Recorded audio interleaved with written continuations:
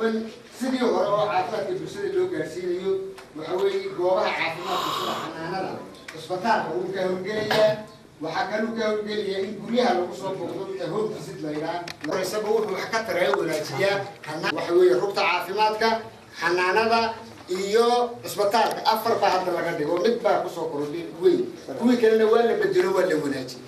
Waxay noqonayaan afar goobood oo la yidhaaho cusbitaalada goobaha caafimaadka ee xarumaha dhexe ee loo soo gudbiyo hooyada oo intaan cusbitaalka la gaarin wax badan sii qaban karaya oo kor loo qaaday tayadoodii health center oo xanaanadii caadigii ah iyo halka aynu dhaha rugta daryeelaha caafimaadka oo laga dhigay rugta daryeelka caafimaadka aasaasiga ah.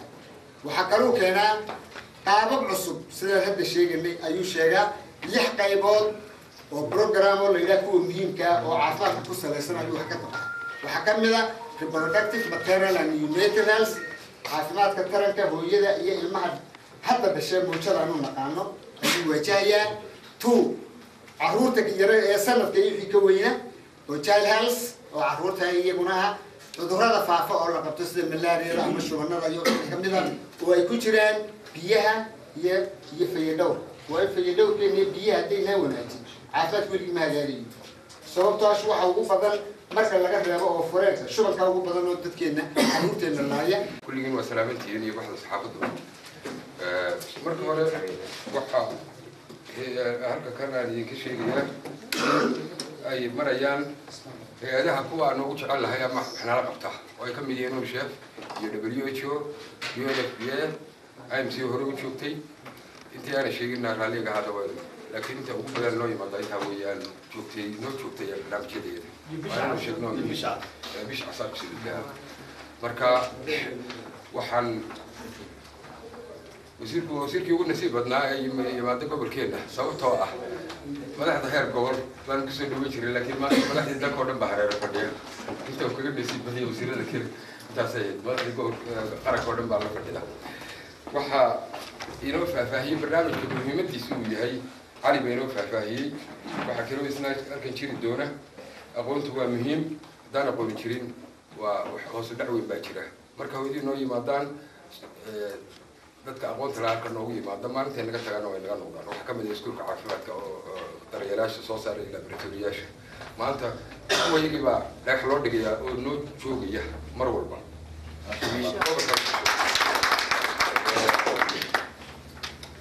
Waxaan eh, intaa ku darayaa gobolka.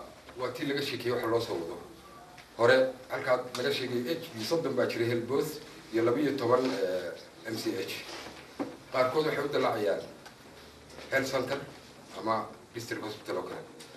Kuwii daryeelayaasha waanu khasbaynay mushaahar ma lahayn. Dawadana kidkaawshafkointu bay lahaayeen. Maanta barnaamijkan loo wado buur walba iyo goob walba oo la jooga iyagaa tegaya awal niyad baan haynin oo itaalka hadda sida ahaa waa afriyo waxa weeye dhowr iyo sagaashankii intii la sameeyey waa joogtay jirtay.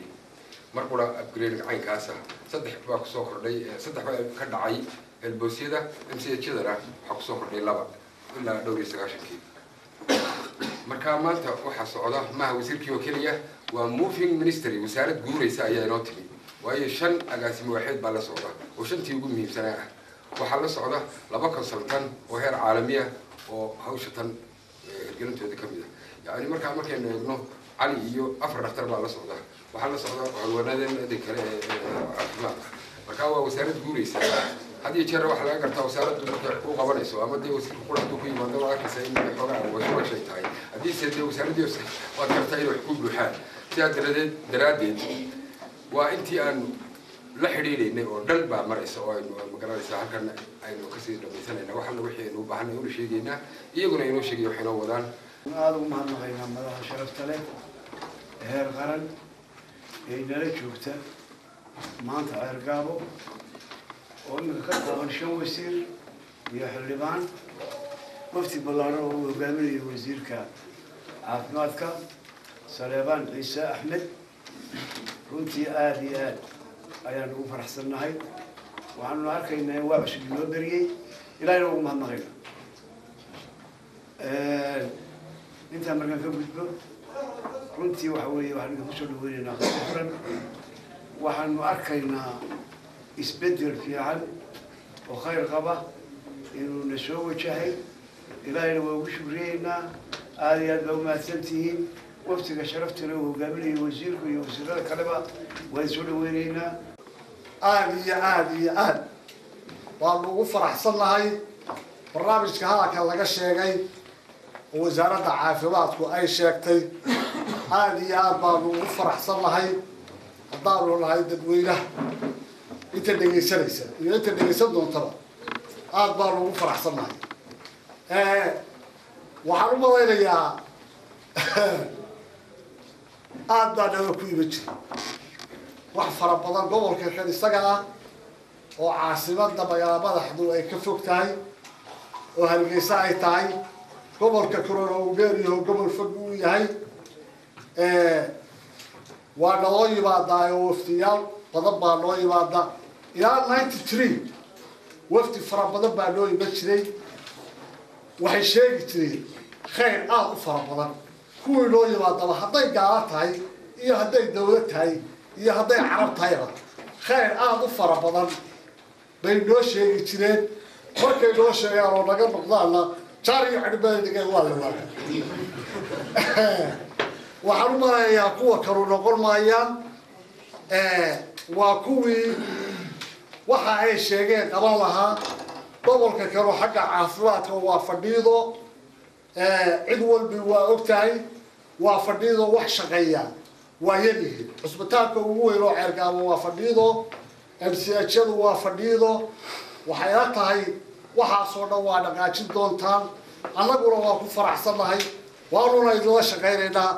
Magacayga waa faadime xaaji xasan axmed waxaan hayay sudwaha wasaaradda shaqada iyo arrimaha bulshada. Gobolka sanaag dhammaantiin waxaa leeyahay ku soo dhawaada gobolka sanaag waa gobolkii ugu ballaarnaa somalilan oo la yidhi waa percent marka la eego dadka somalilan waana gobolkii ugu bariyeeyey. Waa gobol baahi badan qabay dhinac walba. Haddaynu idhaahno adeega bulshada iyo haddaynu idhaahno horumarinta oo ah dee dekedaha iyo meelahaas kale iyo haddii aynu idhaahno xataa isbeddelka bulshada xagga behaviorda xataa. Waa aada buu uga dambeeyaa waayo waa gobol fog oo inta badan dad badan aanay soo dhexgelin oo dee aan kadibedbedelin oo weli waxaanu iska haysanaa dhaqamadii hore baa weli nagu sii yara jir jira marka aad baan idinku soo dhaweynaynaa. Barnaamijkan aad baan ugu faraxsannahay waayo gobolku baahi weyn buu qabay adeega bulshada. Markaan adeega bulshada leedahay waa waxyaabo badan laakiin dadku badanaa waxay soo qaataan caafimaadka biyaha iyo waxbarashada. Waxbarashada xoogaa waa ka roonahay oo meelo badan bay gaadhaa laakiin biyaha iyo caafimaadkaba aad baan uga liidanaa gaar ahaan caafimaadka aad baan uga sii liidanaa.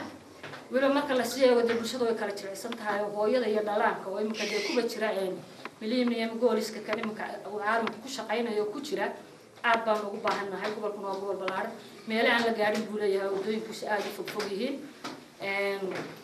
Hase ahaatee marka la leeyahay caafimaad baa laga shaqeynaya adeeg bulshaa laga shaqeynaya meelo badan baa la rabaa in in la iska raacraaciyo oo matalan nafaqayntii haddaanay jirin dee caafimaadkii baan hagaajinayaa socon mayso.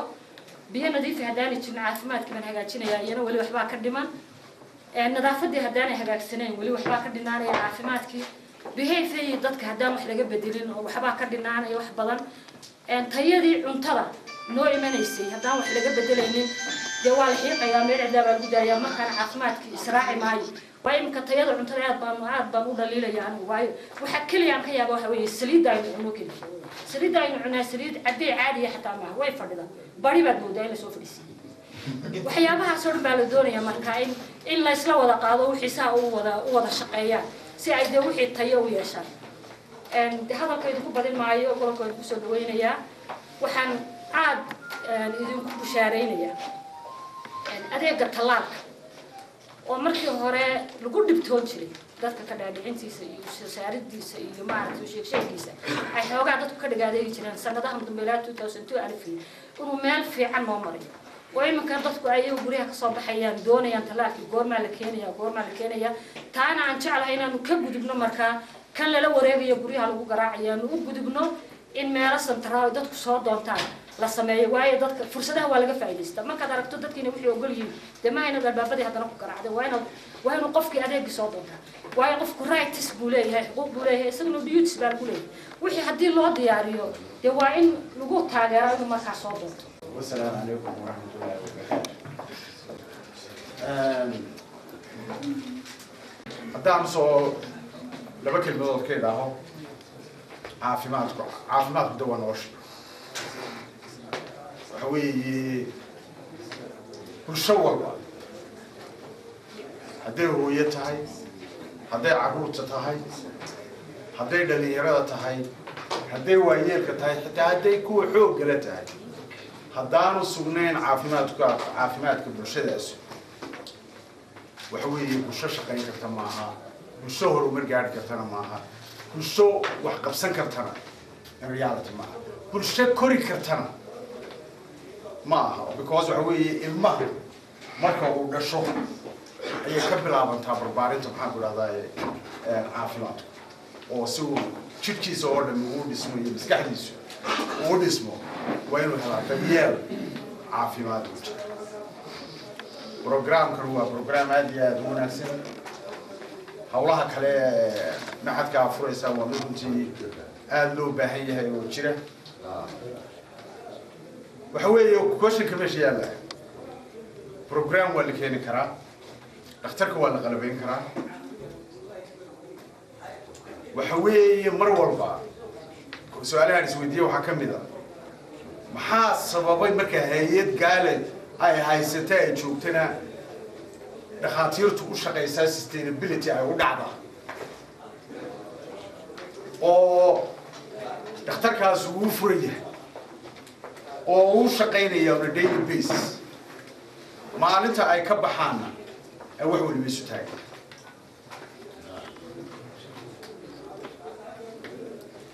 waxaan qabaa waa midaynu inagu isku noqona inay tahay nafteenu. Hadday tahay shaqaalaha caafimaadka ee rangaraynaya these hospitals. Yes waa run lacagayowgii hay'adu ay bixinayeen ee faraha badnaa ee iskuuriska ahaa ee faraha badnaa ma jiro oo dowladda jamhuuriyadda somaliland ma awoodi karto. Hadduu xitaa program lacagli u yimaado de waa time wakti uun buu qaadanayaa maxaan ku dhahdaa programkaas inta uu ku jiro. Marka sidii transition loogu samayn lahaa imka five years oo kale weeyaan programkanu five years dee wasaaradda caafimaadka iyo golaha wasaaradda iyo madaxweynuhu way ballaangarayn karaan five years program programkan waxa ka dambeeya wadin somaliland si ay ula wareegto iyadu waxaa la wixii maxaan ku dhahdaa shaqa iyo iyo nidaamka ahaa waxaa kale oo jira in la ilaaliyo la maintain gareeyo oo loogu yimaado waxa dhakhtarka la dhigo halkii loo keenay hadduu qalab yahay iyo hadduu wax walba yahay waxaana qabaa wasiir inaad eegto federal lease bay kaga tagtay m s f holland. Dhakhtarka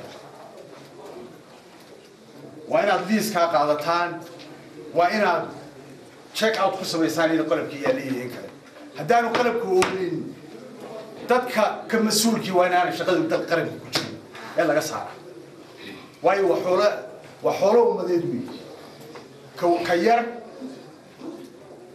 gabadha uur kale halkaa ka cararaysa maalin walba lagala cararayo haddii qalabkeeda loo keeno halkan oo qof ku takrifalayo waa in loogu tagaa qalab la qalabkii yaalay baa shaa dhakhtarkaas waxaan dhahdaa ay msf msf kaga tagtay baan qabaa waa inay shaqaalaha wasaaraddu ayaan qabaa ay wax kasta saleebaan iyo tiimkiisu hadday keenaan oo inagu reer ceerigaaba ahaan aynaan inagu ka shaqaysanayn oo aynaan mas'uuliyad iska saarayn inay qalabkaas iyo dhakhtarkaasi uu yahay mid dhammaanteen inaga wada dhexeeya haddaynu reer ceergaaban nahay. Haddaynu nahay degmooyinka inoo dhow dhan. Waayo dhakhtarkan waxa laga